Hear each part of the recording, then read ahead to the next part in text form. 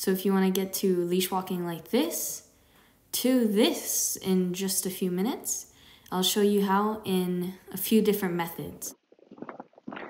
As you can see, she's just trying to smell and everything.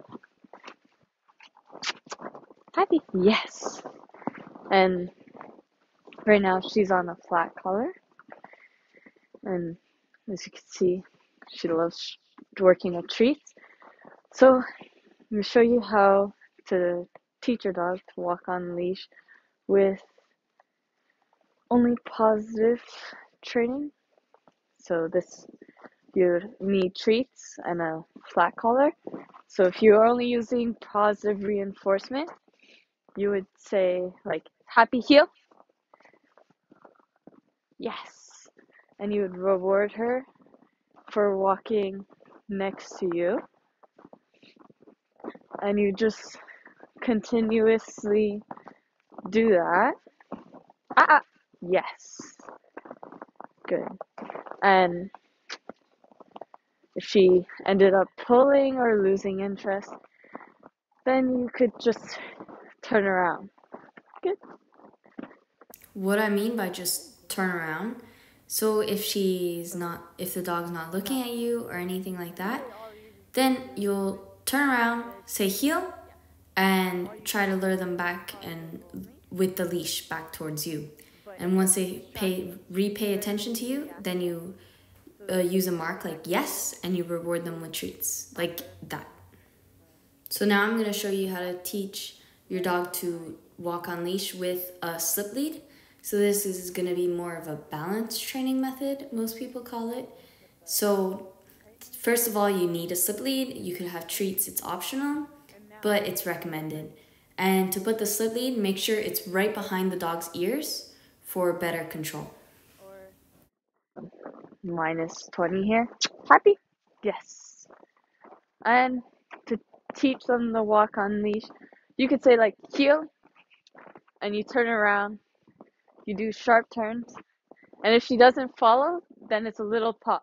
All right. So I'm gonna go. Okay, she's following me. She gives me eye contact. Then I could reward her. And you stop. Once you stop, you wait for your dog to give you eye contact, and once they do, you could reward them and continue walking. So, Happy is a Belgian Tervuren. She's five years old, and that's the dog I'm working with at the moment.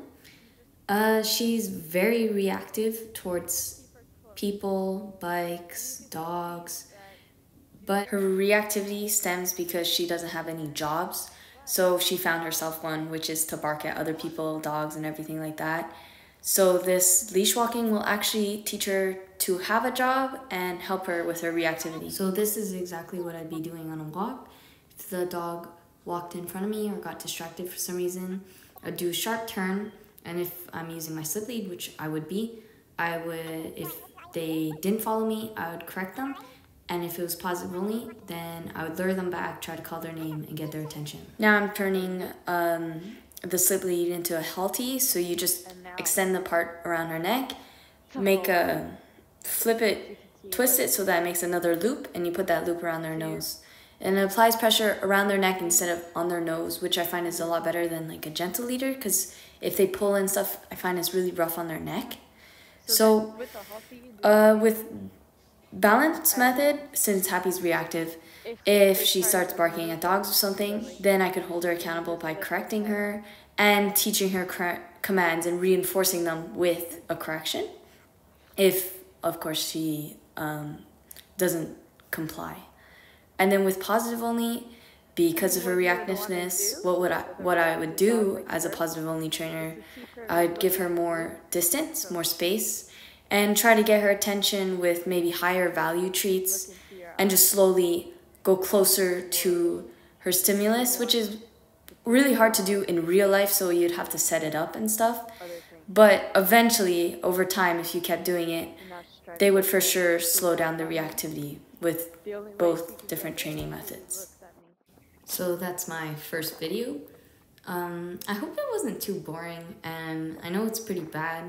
I don't really have a camera person with me or anything, so I was trying to use a tripod and trying to have the most amount of space like you, you could see. Yeah. It was really cold outside, so um, it was really easy to lose track of your thoughts and everything, and it was hard to So- speak because my like my face was frozen and everything. cold ones. Uh, next time I'll try to make the video more engaging. I might remake video, this so- video eventually in the future, but I hope this helped someone, and I hope you guys enjoyed. Bye.